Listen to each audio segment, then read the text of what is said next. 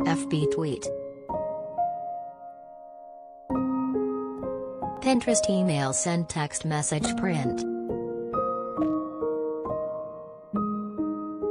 Dwayne Johnson knows how to pull off a big surprise.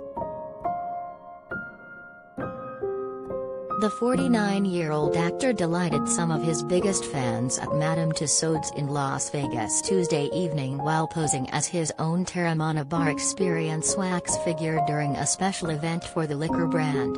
Fans thought they were there to receive a special offer for his tequila line.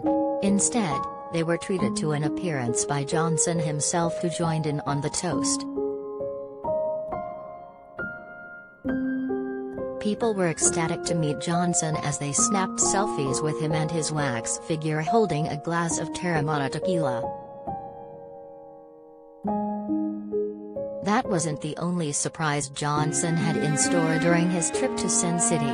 Moments before his surprise appearance, he fooled exhibitors at CinemaCon by appearing via video to debut never-before-seen clips from his highly anticipated films DC League of Super Pets and Black Adam. He then came out on stage for the big reveal. Following the footage, Johnson was honored with CinemaCon's first ever Entertainment Icon of the Decade award, closing out the show.